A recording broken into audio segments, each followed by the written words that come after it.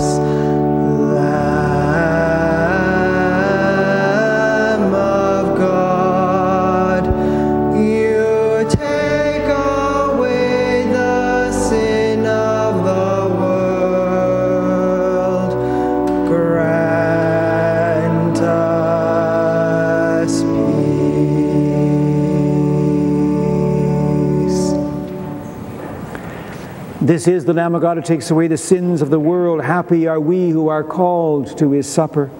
Lord, I am not worthy to receive you, but only say the word, and I shall be healed.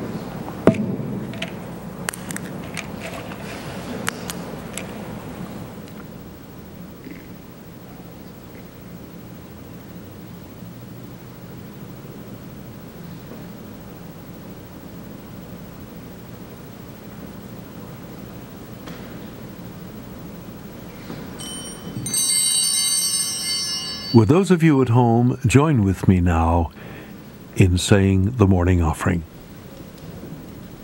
O Jesus, through the Immaculate Heart of Mary, I offer you my prayers, works, joys, sufferings of this day in union with the holy sacrifice of the Mass throughout the world. I offer them for all the intentions of your Sacred Heart, the salvation of souls, reparation for sin, the reunion of all Christians. I offer them for the intentions of our bishops and of all apostles of prayer, and in particular for those recommended by our Holy Father this month.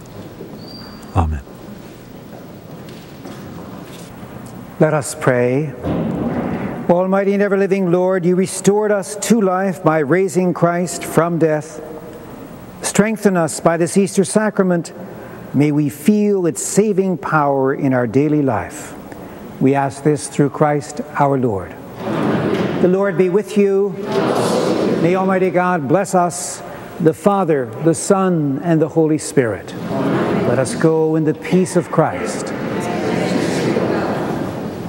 Our thanks to the Winokur family from Toronto, Ontario, whose generous contribution made the televising of today's Mass possible.